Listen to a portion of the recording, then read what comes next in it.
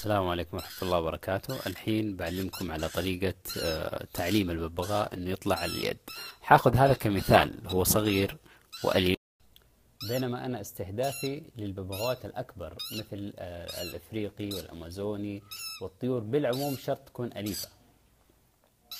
أعيد وأكرر هذا مجرد مثال للتوضيح. هو طبعا أليف بيطلع اليد بسهولة لكن علشان نتفادى بعض الأخطاء حركز لكم عليها وأشرحها لكم.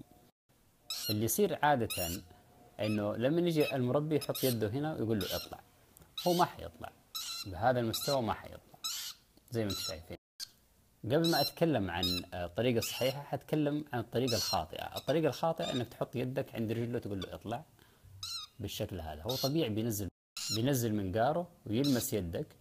آه، الهاوي يظن إنه جالس يحاول يعضه. هو ما يعضك هو يحاول يلمس يدك يفكرك تعطيه اصبعك وعادة الهاوي الجديد أو اللي يخاف من العض يظن إنه حيعض فيسحب يده منه.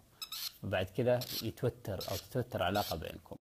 ومع التكرار يبدأ يشعر الهاوي إنه الببغاء ناويه يحاول يعضه أو يحاول يهجم عليه.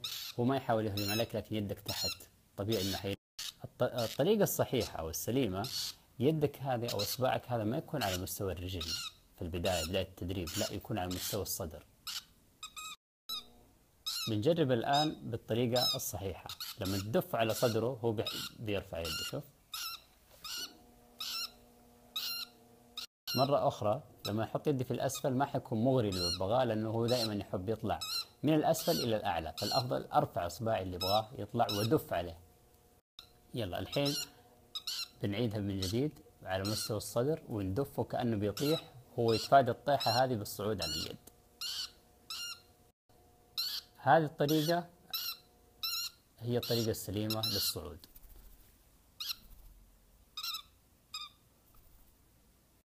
بالإضافة إنك تقول له كلمة اطلع. اطلع وتدف. اطلع وتتجه باتجاه صدره. اطلع تعطيه وقت بالسرعة هذه. من الأخطاء الشائعة إنك تعلمه على الصعود بدون ما تقول له كلمة اطلع. في هذه الحالة بيصير يطلع معك خارج القفص لكن داخل القفص ما حيطلع معك. من الأخطاء الأخرى أنك تدرب التدريب هذا داخل القفص أو فوق الشبك أو فوق شبك القفص. ما حيكون هذا الشيء آه، سهل.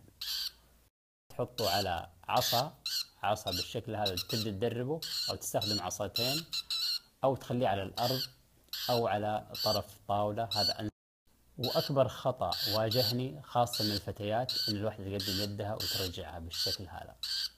تجرب أو تجس النبض هذا خطأ. هذا يستفز. نحط اليد تحت ما حيطلع. ترفع على فوق على صدره حيطلع لأنك أنت كأنك بتطيحه فهو يتفادى السقوط بالطلوع على يدك. هذا واتمنى لكم الصحة والعافية وارسلوا لي تجاربكم على الخاص وتطبيق عملي للدرس اللي أعطيتكم إياه اليوم. وبالتوفيق.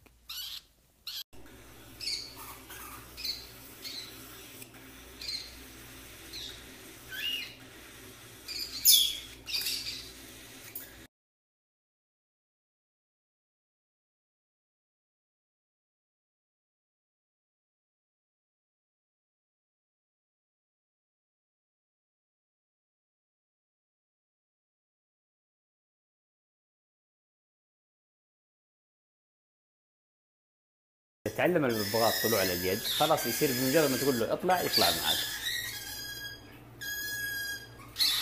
زي ما أنتم شايفين؟ انزل. مجرد ما تحط يدك عنده بالشكل هذا. شوف أنا قدمتها ما لمسته طلع معي. ليش؟ لأنه خلاص آه، المكان اولا مناسب حديد مش شبك. ثانيا هو اعتاد على العملية هذه وصار توقع مني إني أقول له اطلع زي ما أنتم شايفين. يلا اطلع. اطلع. ما حيكون إنك تدف على صدره باستمرار أو ترفع بشكل مستمر لا يكفي إنه يتعود وخلاص يتأقلم معها مع الوقت.